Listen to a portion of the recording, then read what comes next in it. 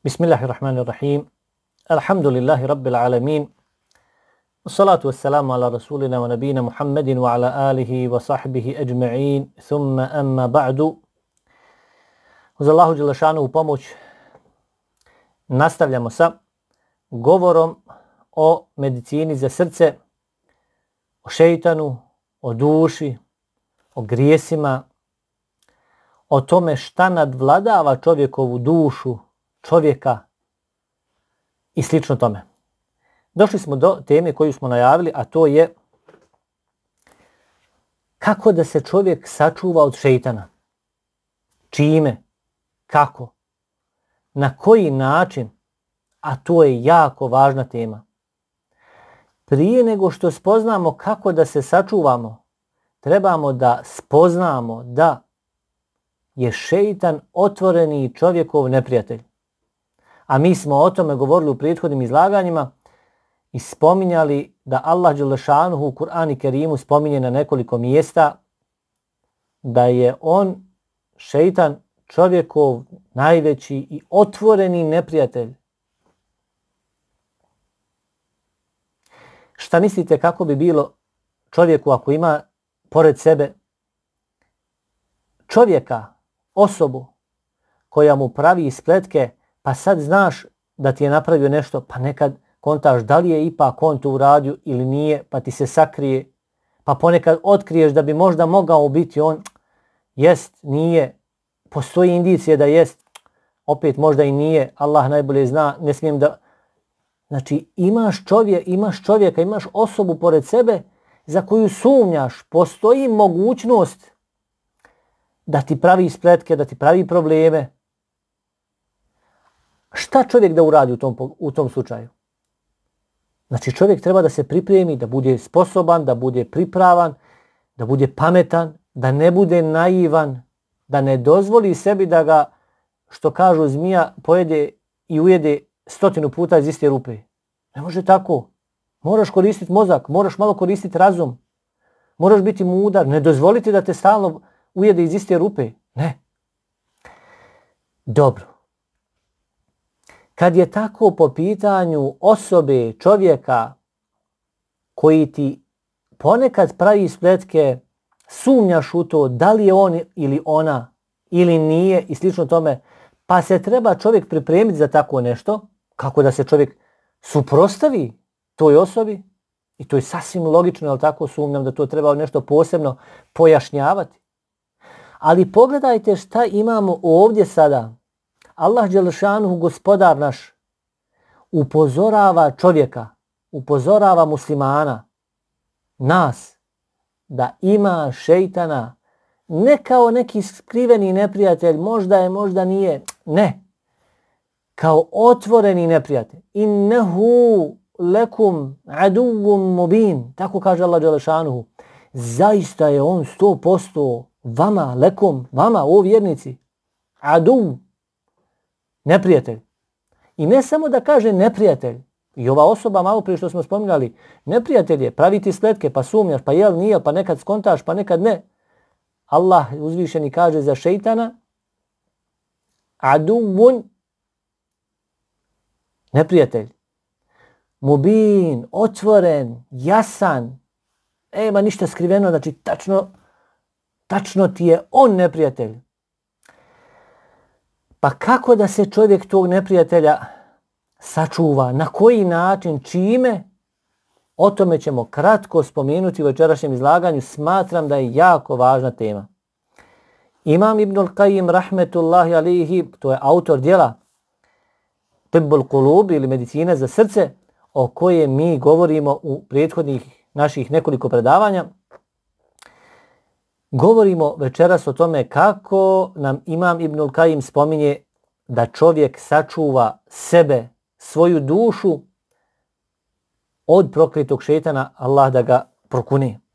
Spomenuo nam je nekoliko ovdje načina.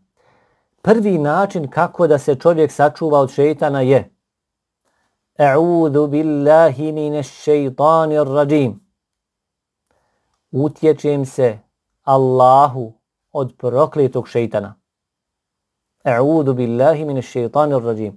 Znači, kada čovjek kaže euzu, a ovo se stručno naziva, ova rečenica, el isti'adha, el isti'adha, znači utjecanje Allahu Đelešanu od prokletog šeitana.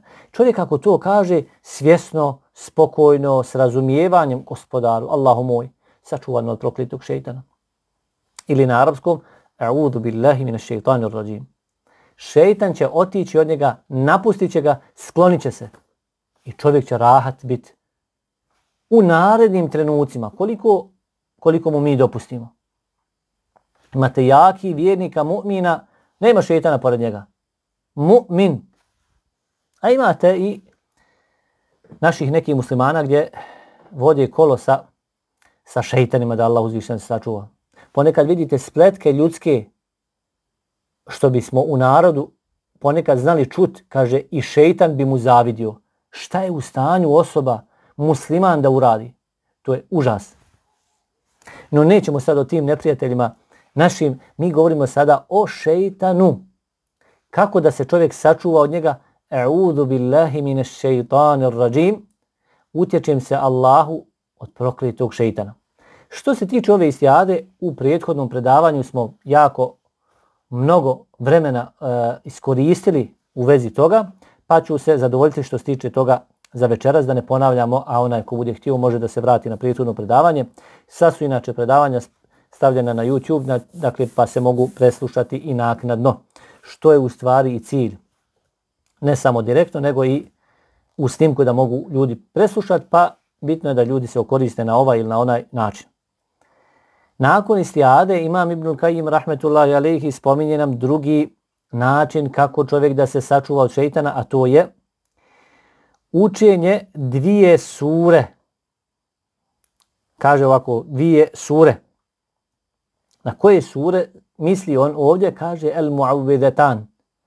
To su sura el felak i el nas. Kul a'udhu bi rabbil felak i sura kul a'udhu bi rabbin nas kaže zaista te dvije sure koje su kratke, koje su posljednje dvije u Kur'ani Kerimu, imaju jako snažan utjecaj na čovjeka.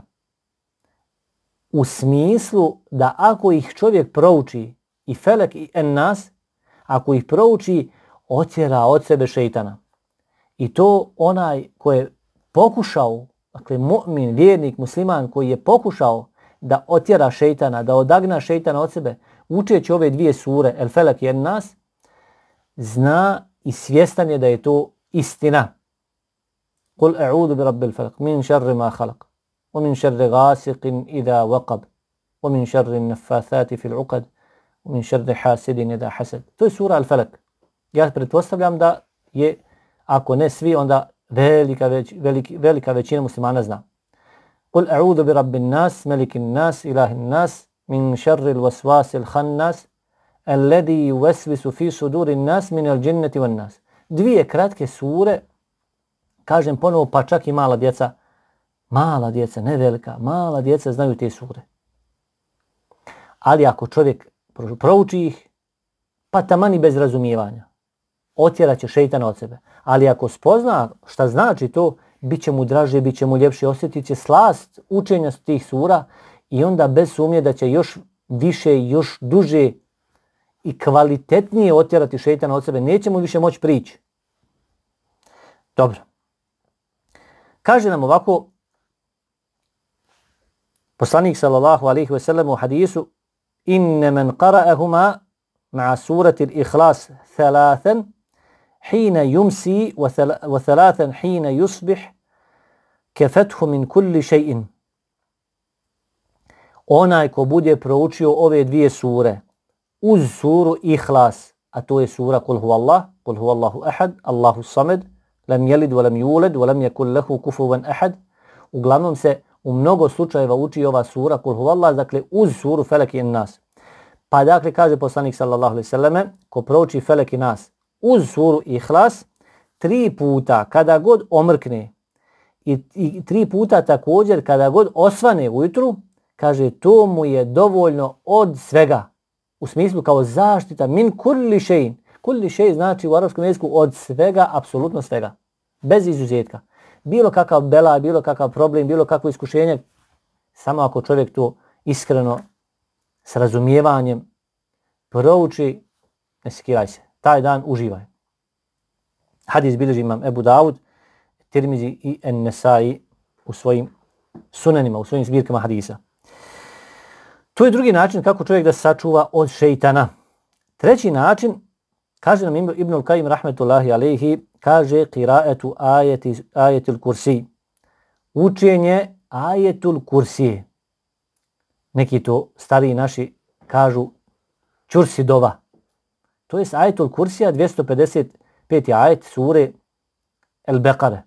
Tamo pred kraj, sure El Bekare e, u kojem se govori sve o Allahu. To je jedan ajet, dakle, otprilike nekih pola strance, cijelokupan ajet govori o Allahu Đelešanu. Naime, deset, deset rečenica koje govore o Allahu Đelešanu.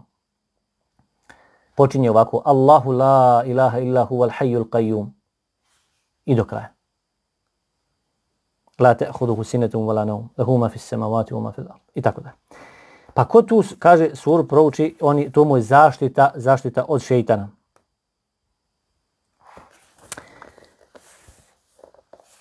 U jednoj predaji se spominje da je Ebu Hureyre radijallahu anhu ashab poslanika sallallahu alaihi ve sellem bio zadužen da čuva zekat, dakle i metak koji je bio kao zekat dat, zekat muslimana.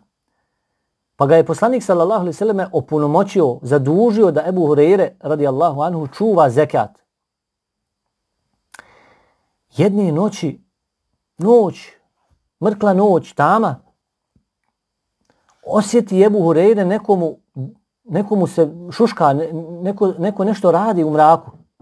I dođe, pogleda kad ono starac čovjek iznemogao i Ebu Hureyre ga uhvati. Kaže, šta radiš? Kaže, došao čovjek, hoće da ukrade zekijat i metak muslimana. Jer sabro se zekijat na jedno mjesto kao bejtul mal, pa će se kasnije dijeliti osobama e, kojima je potreban zekat, je tako? Pa Ebu Hurire uhvati tog starca, kaže, šta, šta radiš, šta hoćeš, šta vamo ukra, hoćeš da ukradeš zekat? Hoćeš da ukradiš tu sadaku, da, da taj metak ukradiš? Kaže, onda ovaj starac kaže, pusti me, ja sam starac, ja imam porodicu, imam ženu, imam ma malu djecu, nemoćan sam, nisam u stanju da radim, jednostavno, pa ja sam i potreban te sadake koju, koju ti čuvaš, pusti me, kaže njemu Ebu Hrire, i oni se tako, kaže, pusti me, neću se više vraćati. Samo me pusti sada, kaže, neću se više vraćati. Ebu Horeire se sažali i pusti tog starca da odi. Sačeka Ebu Horeire dođe u džamiju na sabah i posle sabaha kaže poslanik sallallahu alaihi sallam Abu Horeire šta je učinio tvoj sahibija prethodne noći? Kaže Ebu Hreiri, tako i tako ispričamo. Kaže, ja, sažalio mi se, kaže, da nema ništa, da je i on za sadake, da je potreban, pa sam uzeo, kaže, i metak i dao mu, pustio sam ga, pustio sam ga. Nisam ga uhvatio, znači. I obećao mi je da neće više dolaz, kaže. Samo je, samo je tada kao i neće više.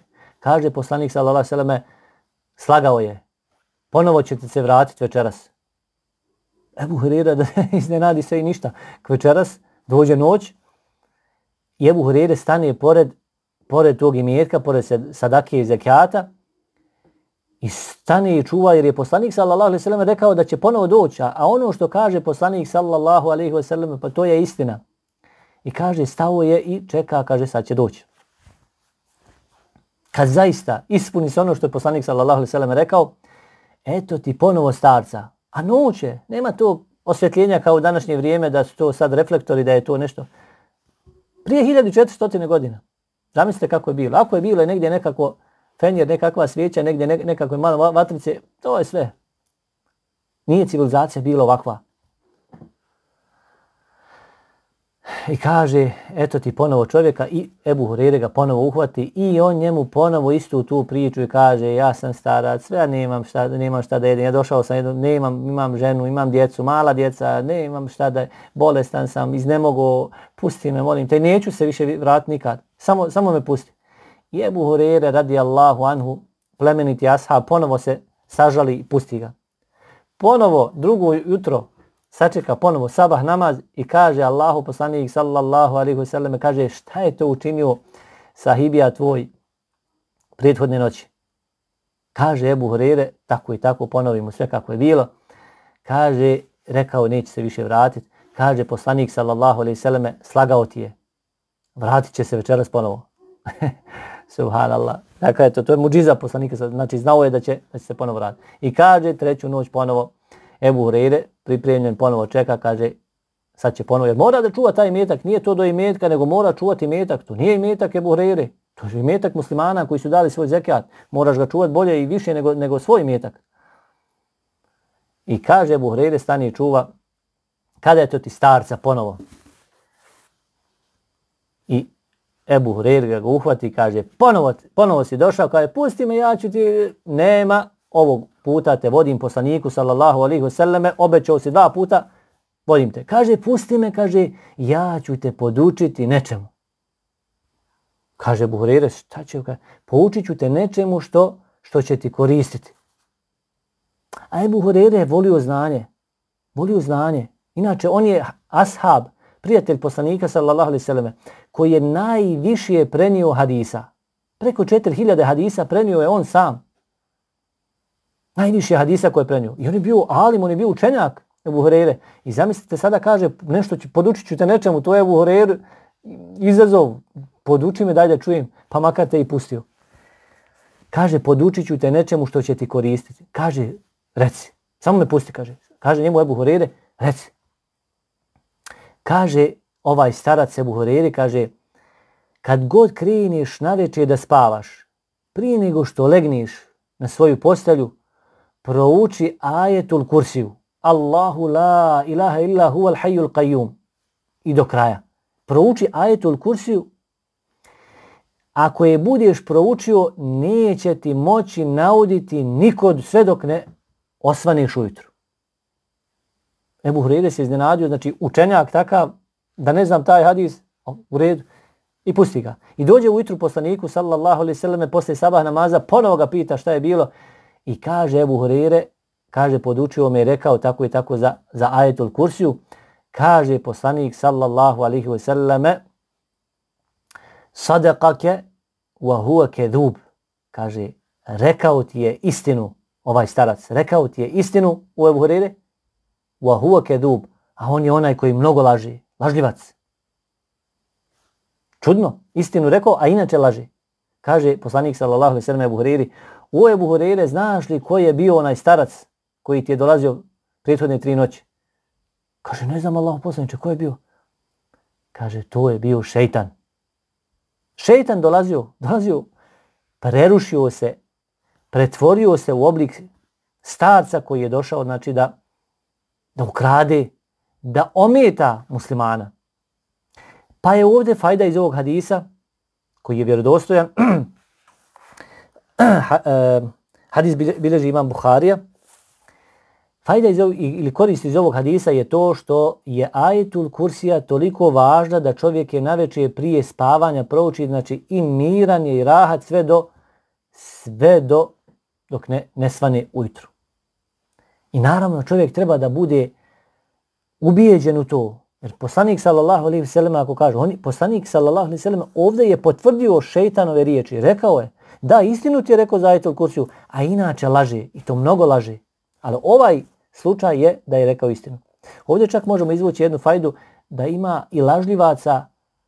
Znači čovjek puno laže, kezub znači puno laže, ne da je onako laže, nego onaj koji mnogo laže. Kezub i kezab.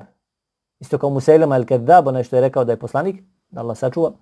Znači to znači da onaj koji mnogo laže i ti ljudi ponekada im ovako malo omahne pa reknu istinu ponekad ako zatreba nekada ovako e, situacija kao što ovdje ga Ebu Hrere pusti, kažu istinu pa makar i u nekoj nuždi.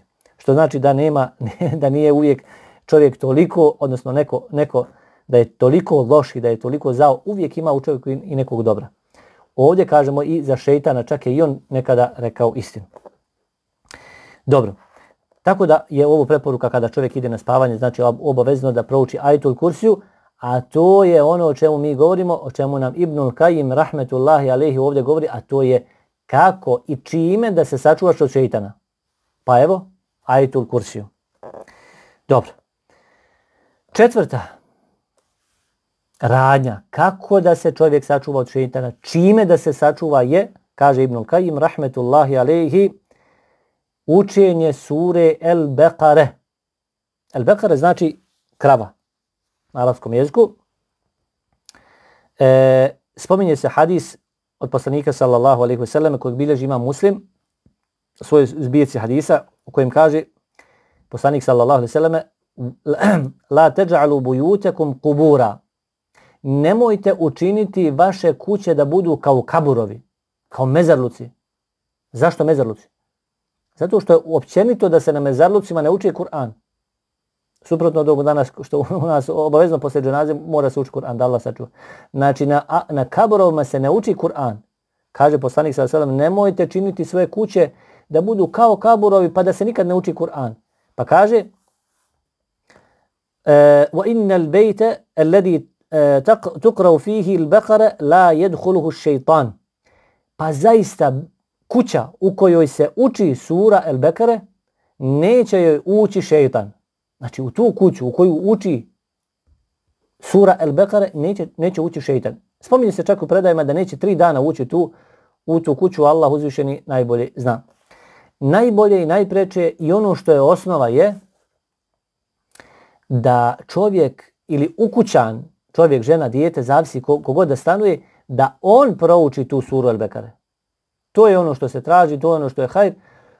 A neka blaža varijanta, Allah uzvišeni najbolje zna, neki učenjaci su spomenuli to, kad bi čovjek pustio preko CDA, preko kompjutera, mobitela i slično, sigurno da ima hajra, Allah najbolje zna, vjerovatno nije isto kao kad čovjek prouči, ali ako ništa bolje i to da čovjek pusti na neki uređaj, tehnički uređaj, na mobitel, na kompjuter, da pusti da uči sura El Bekara cijela i da bar čovjek sluša to što se uči, pa ako bi se baš desilo da ni ne sluša, bolje i to, bolje i to nego ništa. Ono, kad bi čovjek stepenao nešto, znači najbolje da uči Kur'an sam, ako ništa da slu, pusti da, da, da uči Kur'an e, na snimljen, pa da sluša to, ako ni to ništa, onda bolje da uči Kur'an, pa bolje i sura Al-Bekara i, i onako da se prouči, nego baš nikako da Allah uzvišeni sačuva. Dobro.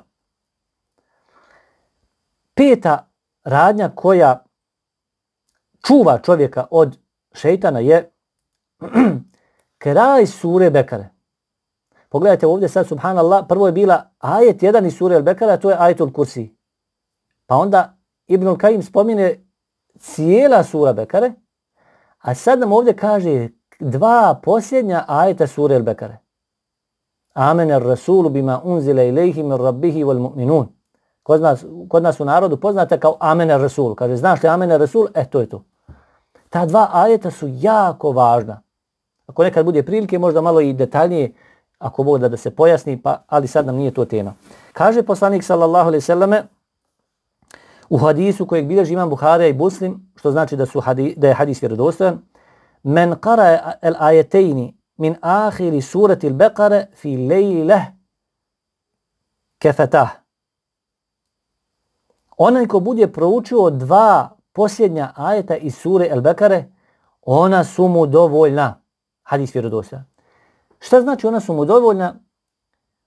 Jedno od tumačenja je dovoljno da čovjek čak ako ne bi ustao na noćni namaz, ne bi ništa radio u toj noći od hajra, dovoljno je da čovjek prouči ta dva ajeta prije spavanja u noći. Dovoljno kao nagrada da ne mora ništa više drugo raditi, toliko je to vrijedno.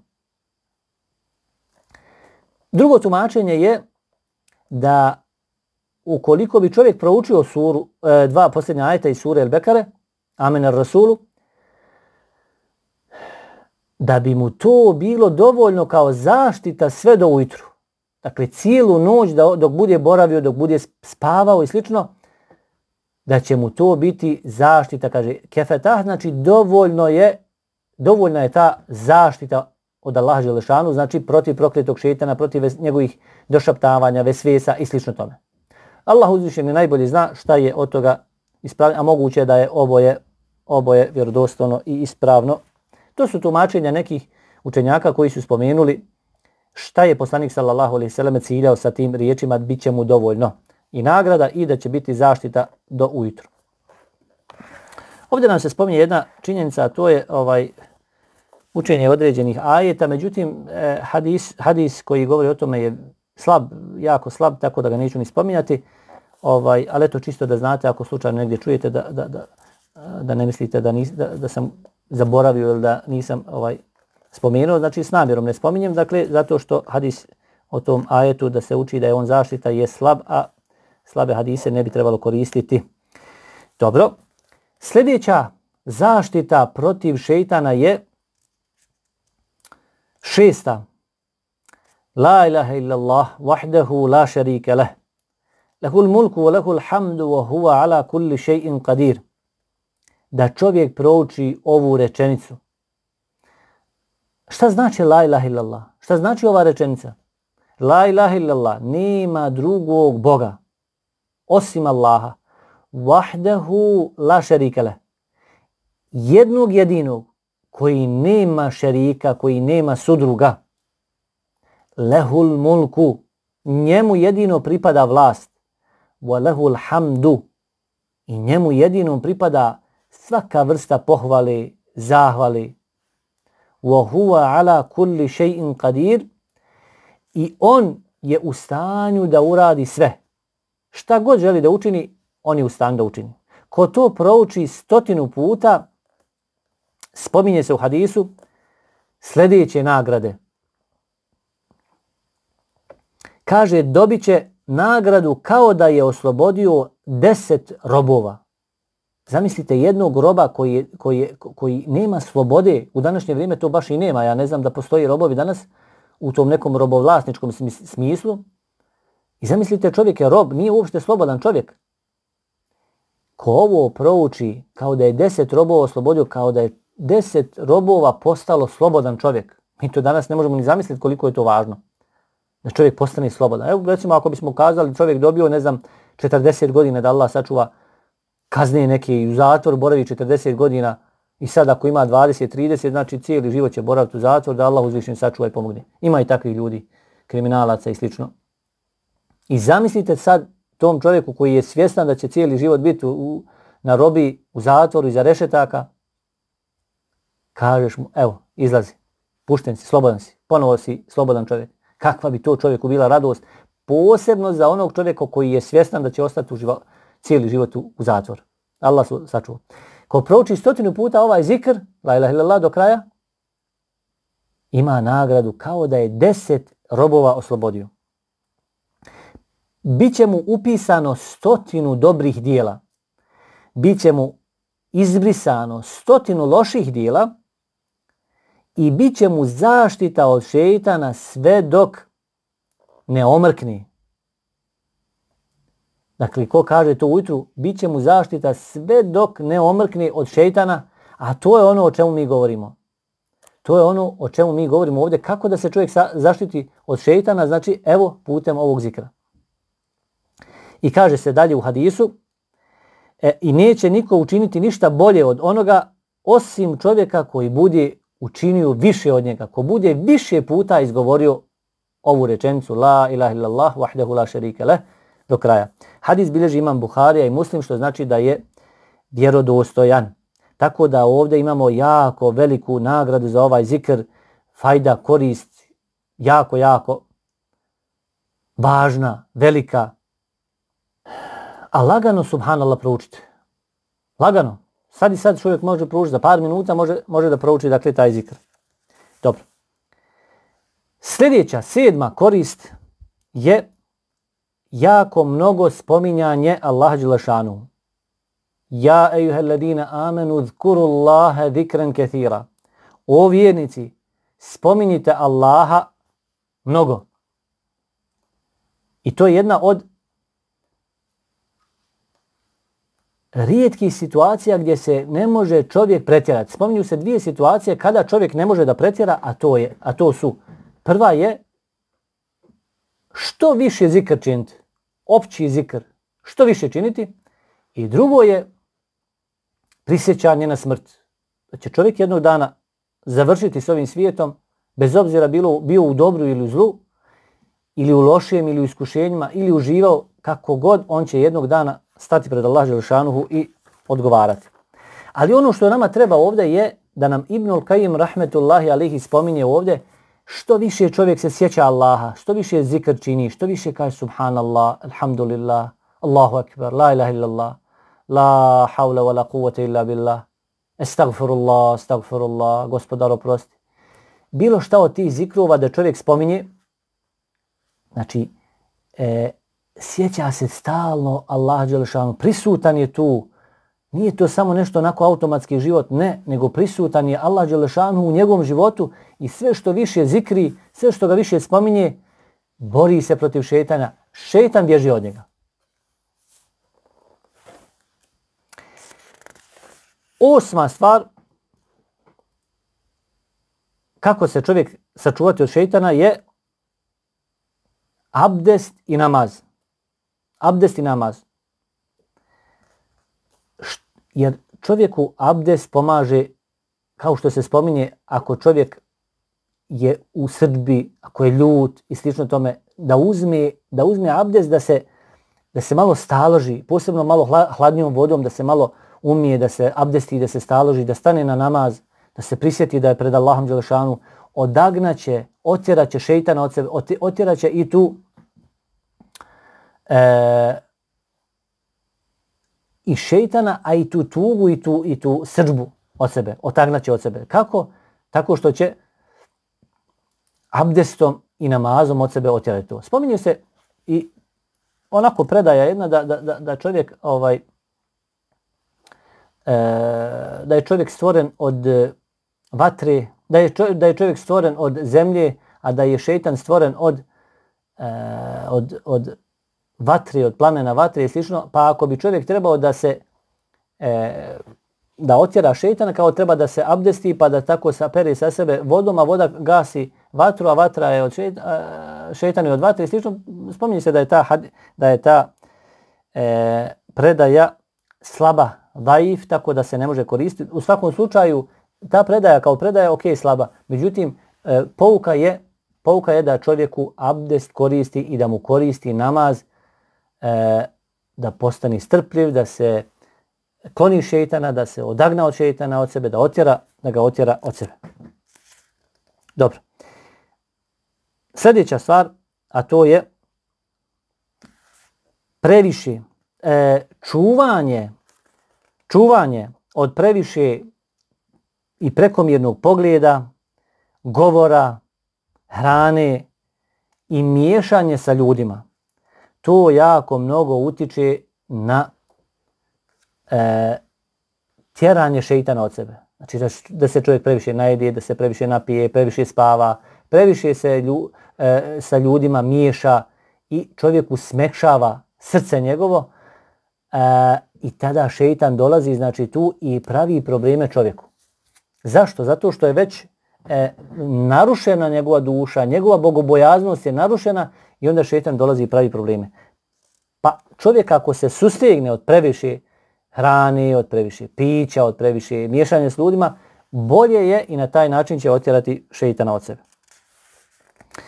A što se tiče što se tiče načina kako šeitan u stvari prilazi, kojim načinima, kaže nam ovdje, spominje autor Imam Ibn Kajim, rahmetullahi da šeitan dolazi u stvari čovjeku na tri, sa tri strane.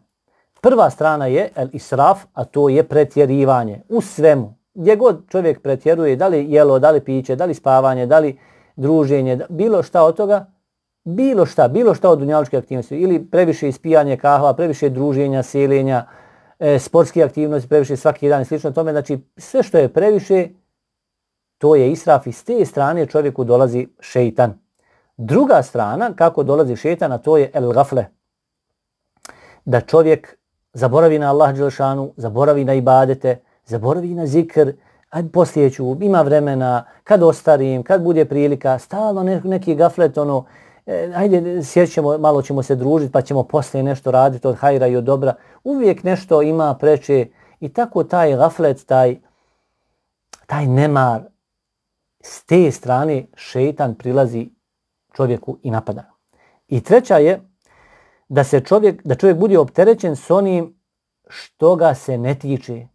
S te strane, ako nije u ovo vrijeme posebno, Allah uzvišeni najbolje zna, prilazi šetan čovjeku, a to je da stalno, da, da čovjek kada stalno se brine o tome šta je neko kazao, šta je neko napisao, što ona je uradio onako, što ona je ovako, što je se ona je oženio ovako, što je se udala onako, što je kupio auto, ma ko će ga znati, e, Bog zna za koje pare, jel se tebe to tiče? Ne tičete se. Min husni l'islam il mar'i terkuhu ma la ja'nih. Od ljepote čovjekovog islama je da napusti da se kloni svega onoga što, što ga se ne tiče. Ne tičete se zašto je neko kupio auto, zašto je neko kupio kuću, Nije to tvoj problem. Čovjek ima pare, kupio kuću. Ako je na halal, uživa. Ako je na haram, opet vjerovatno uživa, a s druge strane bit će od Allaha Đelšanu ispitan zbog čega je to uradio. Tebe to ne zanima. Nemoj se zanimati sa onim što, što, što te ne interesuje. Nije to tvoje, ne zanimati. To zanima instituciju, državu, policiju i slično tome. S te strane u redu. Ali ovako tebe kao čovjeka, znači s te strane šeitan prilazi čovjeku. Kako? Zato što se čovjek dira tamo gdje, gdje uvijek nema, nema potrebe nikakve, znači ne, ne zanima ga to. Nema potrebe za tim. Dobro. Otprilike to, to onako u kratkim crtama, bez previše duženja. Molim Allah Želšanu da nas uputi na ono što je najbolje i najkorisnije, da nas sačuva od svakog zla, da vas Allah Želšanu nagradi za pažljivo slušanje, za bilježenje e, i hvala na pozornosti da vam Allah Đelšanu to kabuli dobra djela. Poruka ove sedmice glasi Allah uzvišeni veli u Kur'ani Kerimu suri An-Nur Ja ejuhel ladina amenu O vi koji vjerujete O vjernici La te tebi uhutovati šeitan Nemojte slijediti šeitanove stope šeitanove korake innehu lekum aduvum mubin. On vam je zaista sto posto, bez sumnje, otvoreni neprijatelj. Ne nešto skriven tamo vamo, ne. Otvori, otvoreni neprijatelj vam je šeitan. Nemojte slijediti šeitanove stope, kaže Allah Želešanu, što znači da šeitan ima korake, stope, kako zavodi čovjeka to je obaveza da čovjek nauči te korake, te stope, kako bi se sačuvao šeitana, tog otvorenog neprijatelja. Koji su to stope, koji su to koraci? Možemo naučiti na našem ciklusu predavanja medicina za srce od imama Ibnul Kajima, rahmetullahi alehi, i na drugim ispravnim mjestima obaveza je da čovjek to nauči. Pa na ovom ili na onom mjestu u svakom slučaju da se čovjek poduči, i da se čuva tog šeitana. Molim Allaha uzvišenog da nas uputi na ono što je najbolje i najkorisnije, da iskoristimo bar nešto od onoga što smo čuli u praksu. O sallallahu sallam ala nabijina Muhammedu ala alihi wa sahbihi ajma'in. Da vas Allah Đelešanu nagrada.